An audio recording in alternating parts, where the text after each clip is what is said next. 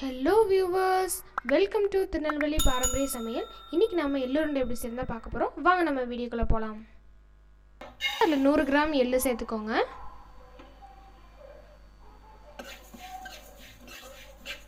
அதை ஒரு அஞ்சு நிமிஷத்துக்கு நல்லா வறுத்துக்கலாம். நூறு கிராம் எள்ளுக்கு நூறு கிராம் வந்து நான் கருப்பட்டி எடுத்திருக்கேன். இப்போது எள்ளை வந்து மிக்ஸி ஜாரில் ஆட் பண்ணி நல்லா பவுட்ரு பண்ணிட்டு வரலாம்.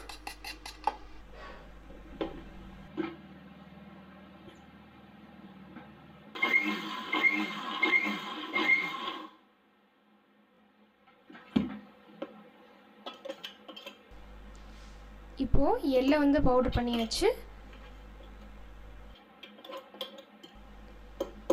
நெக்ஸ்ட்டு நம்ம வந்து கருப்பட்டி ஆட் பண்ணிக்கலாம்.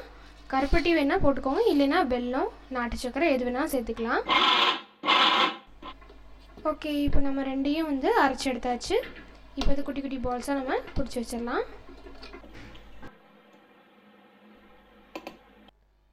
எள்ளுருண்டை ரெடி நாங்கள் இன்றைக்கி பண்ண ரெசிபி உங்களுக்கு பிடிச்சிருக்குன்னு நினைக்கிறேன். பிடிச்சிருந்தா லைக் பண்ணுங்கள் ஷேர் பண்ணுங்கள் மறக்காமல் எங்கள் சேனலுக்கு சப்ஸ்கிரைப் பண்ணுங்கள்